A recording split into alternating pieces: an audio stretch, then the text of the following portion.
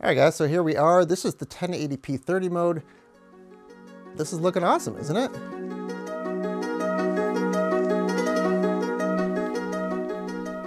Okay, so here we are guys. We are testing the new HDZero Micro V3 camera. Uh, this is basically a Micro V2 camera with a new lens and with new firmware from Runcam themselves. So we're going to take a look at the image. And we are dealing with some limited light because it is a cold winter time of year here in Norway. But let's go ahead and take a look at how this image looks. Here we go. I am in the 1080p 30 mode. Ooh, quad feels weird some reason. Oh, I'm in freaking uh, angle mode. There we go. that was weird. Wow, yeah, okay. This is looking really good. Holy crap, look at that. This is definitely an improvement. Uh, I think my antenna on the quad is broken, by the way. So let's not worry about the breakup. But wow, look at this image. This is looking super nice.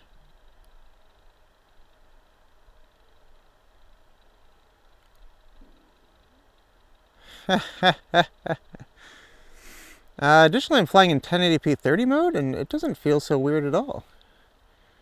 I feel like some of the jitter's gone. All right, so here we are in a darker spot. Uh, we're going to go over here and just see what it looks like in the shadows. Wow, it's handling the shadows really well too. Look at that. I think I can fly in here. Let's see. Wowie, wowie. This image is incredible. Carl, HDZero, amazing. You guys really did improve the image quality.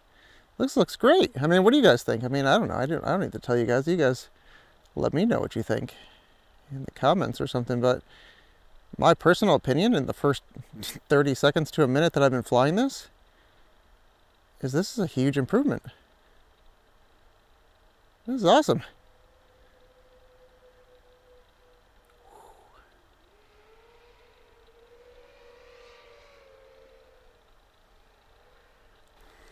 Look at that.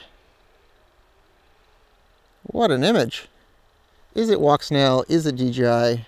No, of course not. It's not supposed to be. Is it HD FPV footage with real-time consistent frame rate, resolution, and latency?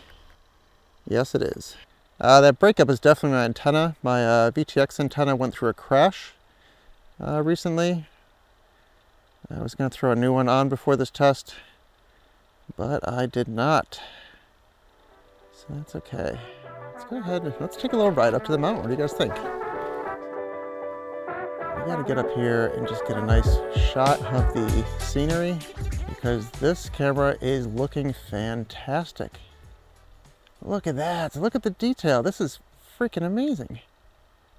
What? Absolutely stunning. HDZero. Well played. Absolutely stunning, huh? Look at that. This is HDZero, you guys. This isn't Walksnail. This isn't DJI. This is HD freaking zero. Incredible.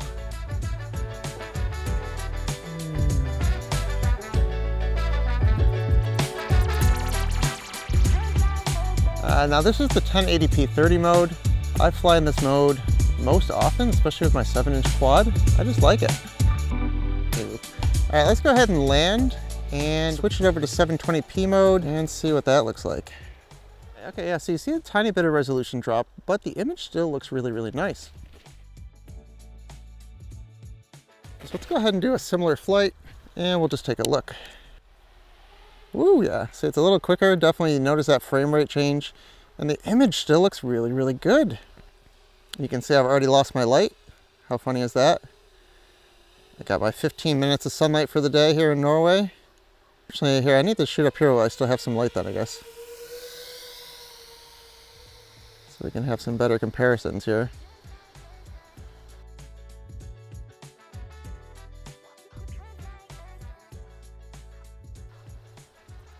Okay, yeah, see, it's still looking really, really good. But that 1080p, if you're really looking for the best image quality, that 1080p is a definite upgrade. Um, this is great.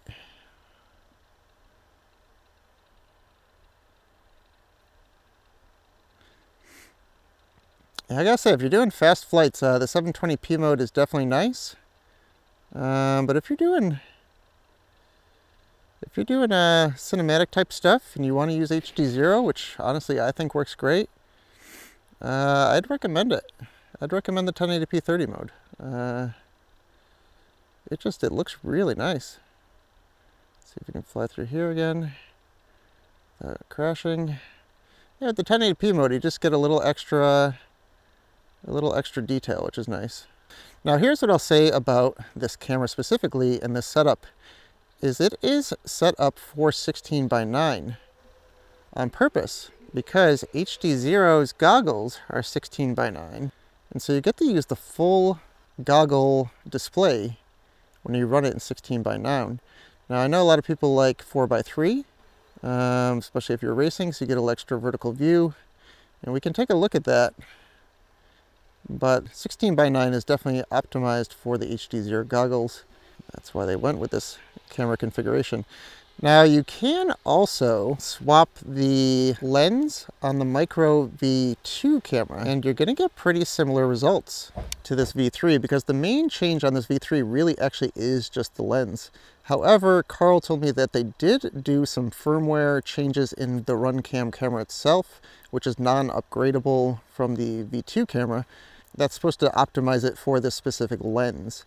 And also I want to find out what this lens is called to see if we can't order spares of this lens because uh, I've been running the RunCam RC5L lens, which was on the Micro Eagle V2 camera, I think it was called. Uh, but yeah, I think this lens is nicer than the RunCam Micro Eagle.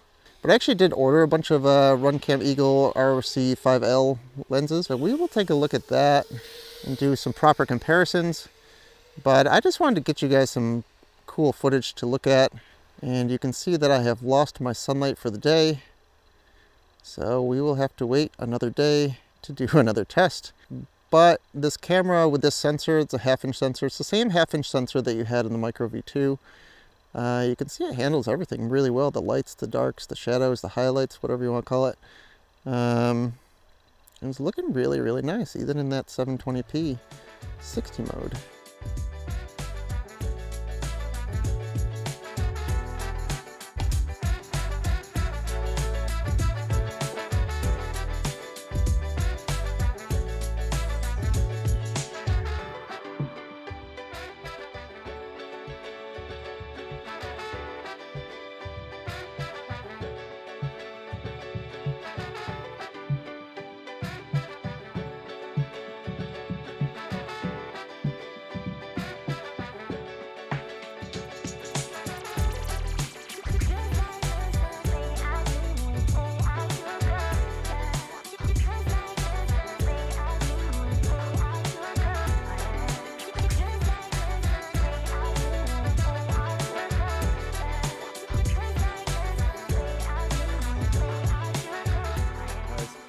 Um, this is the Micro V3 camera. It's essentially a Micro V2 camera, the same exact sensor. The only difference is a brand new lens that uh, RunCam has optimized using some firmware in the camera. So the camera firmware is a little bit different than the Micro V2 and the lens is of course different too. However, if you were to put this lens on the Micro V2 camera body, you would get almost identical performance, I think and maybe we should test that to find out for sure. But Carl said that this Micro V3 still would be better because it is optimized, but that the Micro V2 would be really, really close. So we're gonna just have to do some tests maybe when I have a chance, and you can stay tuned for that. But I hope you guys found this interesting. I think this camera's a huge upgrade. Definitely fully recommend. What do you guys think? Let me know. awesome.